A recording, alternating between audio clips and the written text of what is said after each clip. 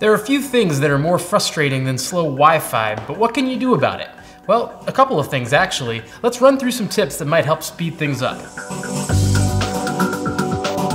Your home's Wi-Fi speeds will always drop off at range when you're connecting at a distance, but there are other things that can slow your connection down as well, including network interference and issues with your internet provider. In this video, we're gonna go through some of the basic steps that you can try to counteract those slowdowns and get the most out of your home's connection. First things first, and it probably goes without saying, but turn your router off and turn it back on again. Some models come with a physical switch for this exact purpose, but if you have to unplug the thing, that's fine too. If your router is connected to a separate modem, you should go ahead and reboot that as well. A lot of times, a quick reboot is really all you need to fix some of the common temporary issues that can slow down your home's connection. That said, if you find yourself needing to reboot your router day in and day out, then it's probably worth calling your internet service provider to see if something is amiss. Okay, so you rebooted the router and things still seem a little bit slow. It's a good idea at this point to make sure that it isn't a problem with your device as opposed to a problem with your entire network. And the best way to check for that is to grab a second device that's on your network, like your phone, and run some additional tests, check things out, look for issues, see if it's affecting everything and not just that one device. A good speed test like the Ookla speed test or fast.com can really come in handy here. Run the same test on each device in the same room and you'll get a good numerical sense of how your speeds are looking. If both results seem slower than they should be, then it might be time to try making some tweaks to your network. Tweak number one, consider moving your router.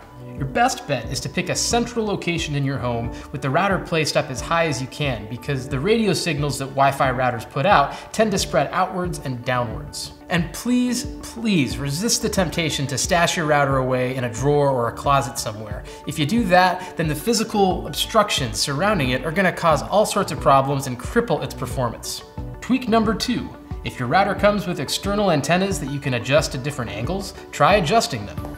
Antennas like these typically put out a Wi-Fi signal in all directions at a perpendicular angle. That means that an upright vertical antenna is usually best for connecting on the same floor, but if you're trying to connect upstairs or in the basement, going with an antenna that's horizontal might be the better play.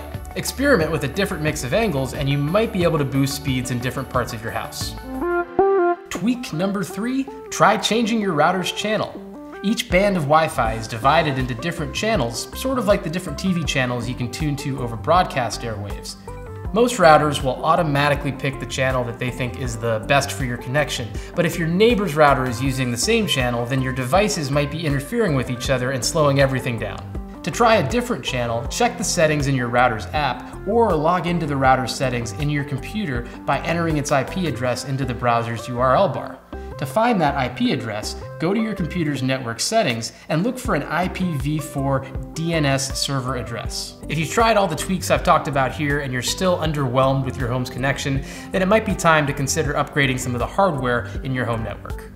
A good mesh router uses multiple devices in multiple parts of your home to spread a stronger signal from room to room, and that's really the first upgrade I'd recommend for most homes. But you could also give your router a boost with a range extender or something like a power line extender, which uses your home's wiring to sneak your Wi-Fi signal past obstructions like walls, furniture, and concrete. We've got testing and reviews for all of that stuff on CNET, and you can check the links in this video's description for links to our best list for mesh routers and range extenders and more. Just remember that your home's internet plan sets the speed limit for your connection, so you shouldn't expect your router, or any router for that matter, to connect at speeds faster than what you're paying for. Still, even if your connection is limited by lackluster speeds, there's no reason you can't get the most out of it with the right hardware and a little bit of futzing. Thanks for watching. Uh, if you found this video helpful and enjoyed it, please give us a like and subscribe if you want to see more. Uh, leave us a comment letting us know what Wi-Fi tricks have worked in your home to speed things up. And if you have any family members or friends who have slow Wi-Fi and ask you for help, just send them this video and uh, tell them to like and subscribe as well while you're at it.